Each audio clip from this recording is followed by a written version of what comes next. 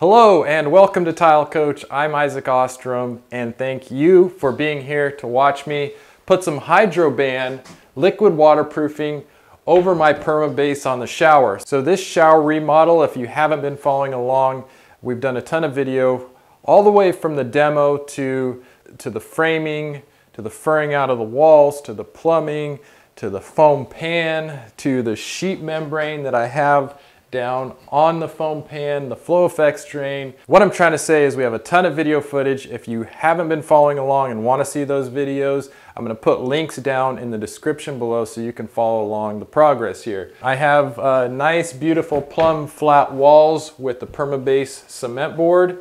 I have used mesh tape in all of the seams and corners, transitions, uh, and I used Multi-Max Light to embed this alkali resistant mesh tape, which is this stuff right here.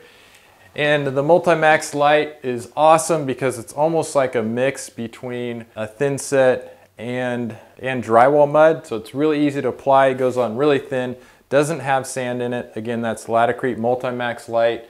I use it for putting in sheet membranes and I also use it for going over the mesh tape on cement board. So finishes up really nice. So let's get started with the Hydroban. So the nice thing about doing liquid waterproofing is that most people can do it. You pretty much use the same principles as painting, except you can just be a little sloppier and get it up on the wall. I have used blue tape on the edges that I don't want the Hydroban to go over on both sides, but that's pretty much the only areas that I need to block off because I don't need to go all the way to the ceiling with the liquid waterproofing, just up to the shower head. So what I have here is a 3 8 nap 9 inch roller. I have a little weenie roller right here for the tighter areas. And then I have a nice high quality Purdy paintbrush here to get into the corners and anywhere else. So let's get started.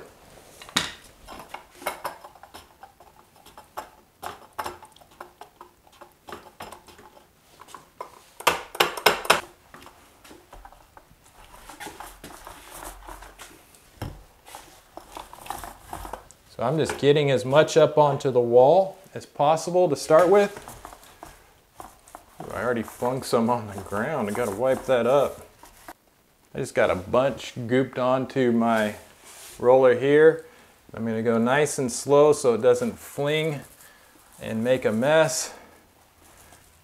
And I'm just kind of pushing, pushing it. When I first get it up there, you'll notice I'm not really rolling it. I'm just kind of pushing it Just getting as much on my roller as I can. And I'm lapping down onto the sheet membrane. Also, just the two inch band coming up.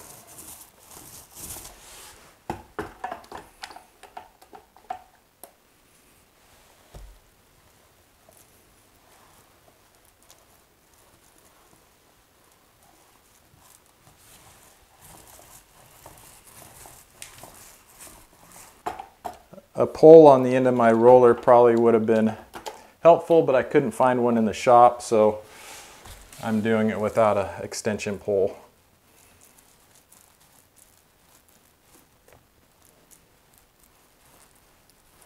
Now this is, this is going to require two coats, but Hydroban, the reason I prefer it, well one of the reasons, because it is more expensive than RedGard or AquaDefense uh, is that you can apply it thicker. It's, it's not such a thin material. It's got more body to it.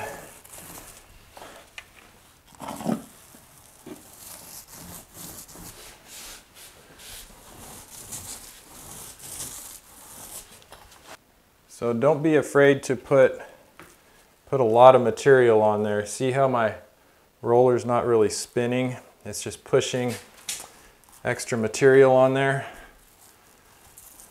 That's a good way to get the correct amount of material on the wall. One of the major mistakes that people make with RedGard is applying it too thin because it's just it's just real water. You don't. It's almost like a thick latex paint, where the Hydroban is much thicker. So yeah, I'm just gonna go up to about right here, just about the shower head height. That's plenty. No need to go up higher than that. You can if you want, but don't need to. Big roller fits in the niche. That's nice.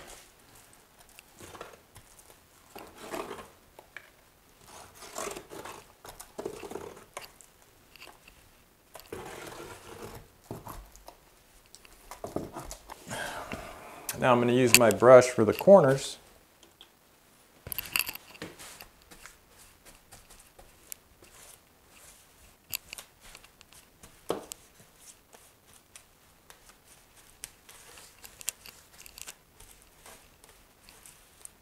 Nice thing about cement board too is that it's pretty porous and it'll dry your first coat out pretty fast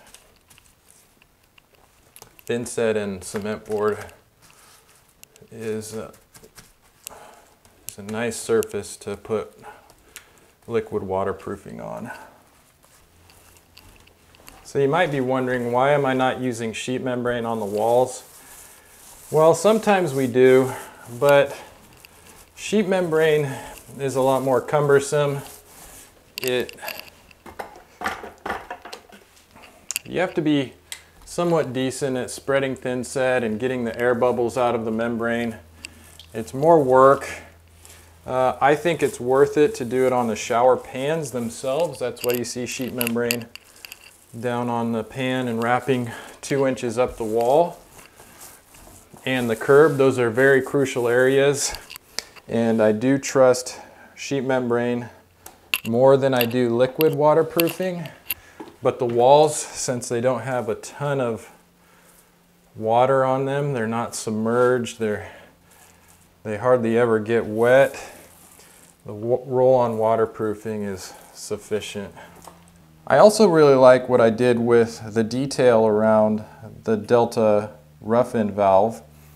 Uh, the plaster guard here, the black plaster guard, I took mesh tape and Multi-Max Light and went right up to the ABS plastic mud ring they call it and the Hydroban sticks to ABS so I'll go ahead and give this a nice waterproofing as well.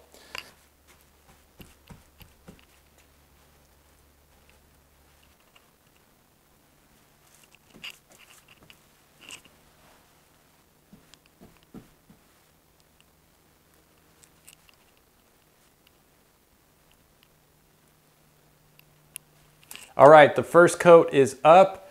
That went really fast. I mean, it seems like it was only about 15 minutes. Time flies when you're having fun, but that's what it seemed like. So we need to let this coat dry completely before we put another coat on it. That's another big mistake I see being made. Not waiting until that first coat is fully dry because if you don't, if you still have wet material and you put another layer over the wet material, it's like sealing it up like putting the lid back on a bucket and that bottom layer won't dry. When it gets wet or when vapor goes through it, it will bubble up and start to peel off. We don't want that to happen. So we're gonna let this dry completely. How you know it's dry is when it turns the dark olive green color and you already see it already starting to dry in certain areas. So hopefully it only takes about an hour to do that. I'm gonna go ahead and clean up some tools while I'm waiting for that. So here's another tip. Uh, while I'm waiting for the coat to dry, I don't want that same coat to dry on my nice Purdy brush here. So I just take some plastic. You can use like a, a grocery bag or plastic sheeting. I actually cut this off of one of my trash bags, just wrapped it with tape, sealed it up so that I don't have to rinse this out. I can just take it off when the second coat's ready to go. My paintbrush is too. All right, it took, yeah, about an hour for this coat to dry in here. It's a pretty warm day. I had the windows open and the air scrubber going to get some circulation. Cleaned up all my tools, gave me something to do while I let this dry. That is one thing about liquid membranes. There is wait time in between the coats, so you'll have to figure that in. But this is ready for the second coat, so let's get on it.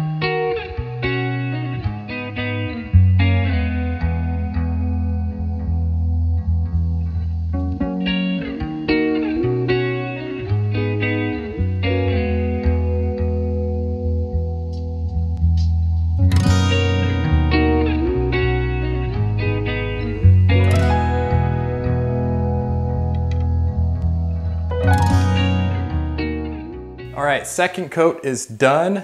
This looks beautiful, nice thick coat on here.